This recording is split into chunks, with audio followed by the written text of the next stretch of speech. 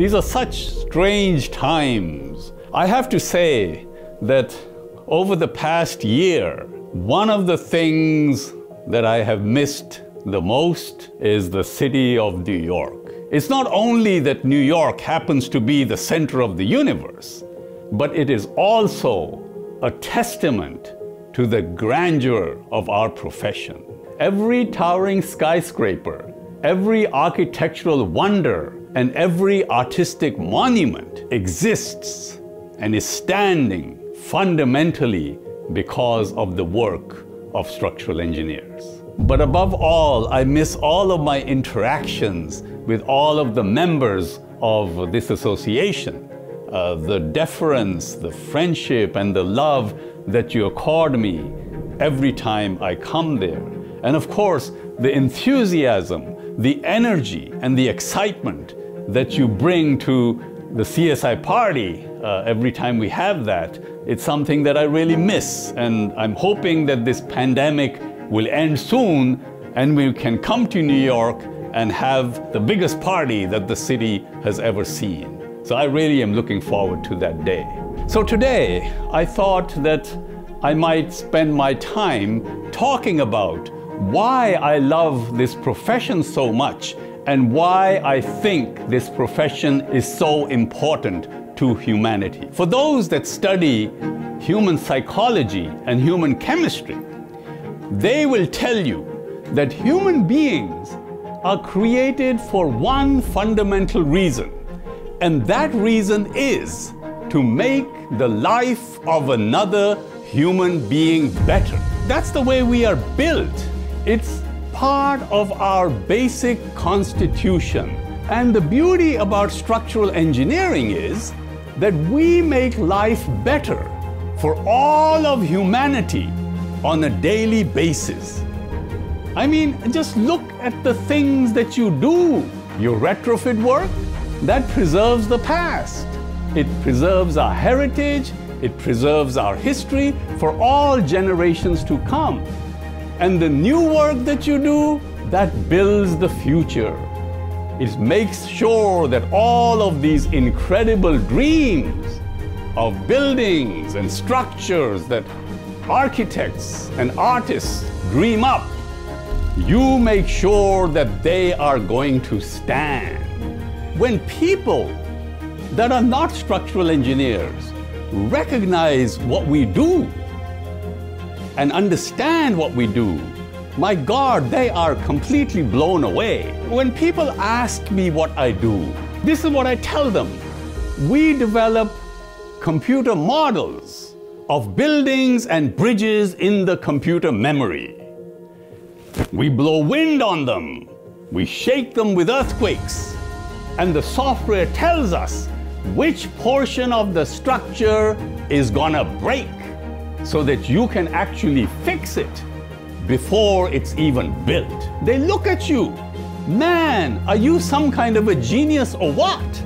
But you know, isn't that what we do? Yes, it is. You know, but we have a tendency to take it for granted. The beauty about structural engineering is that it's real.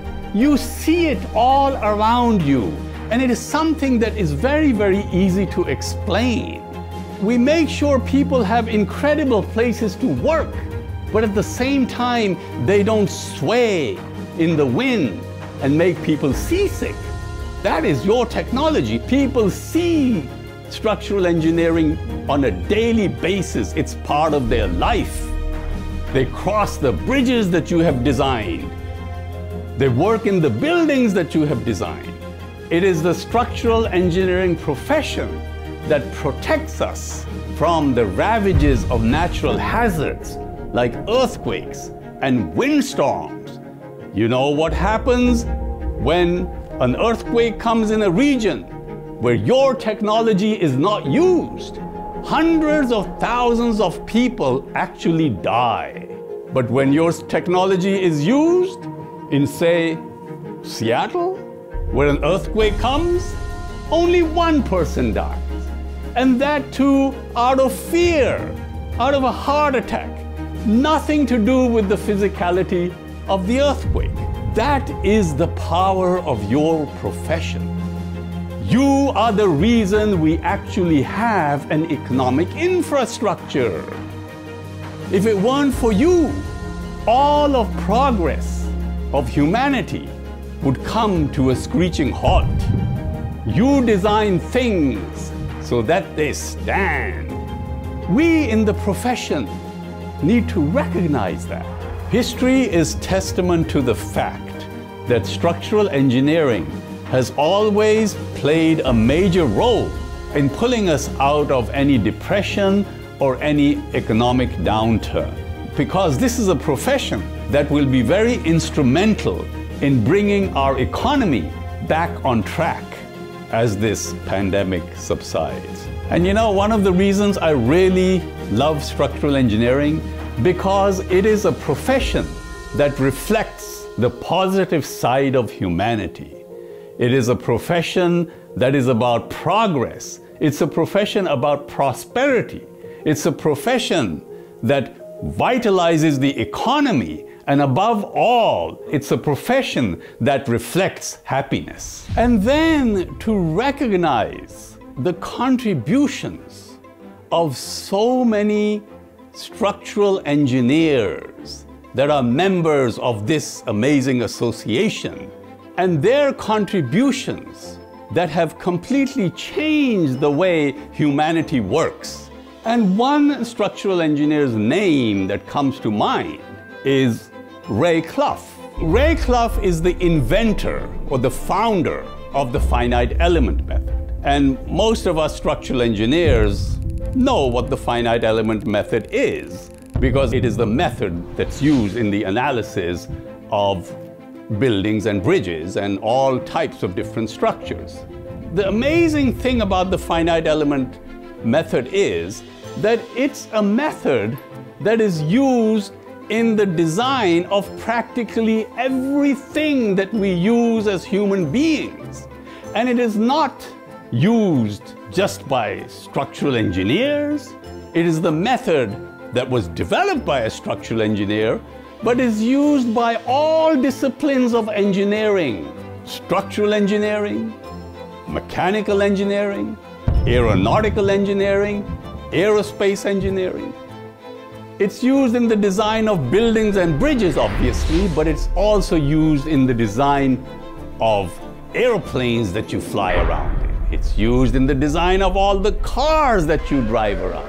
It was used in the design of the lunar module that took humanity all the way to the moon and brought them back.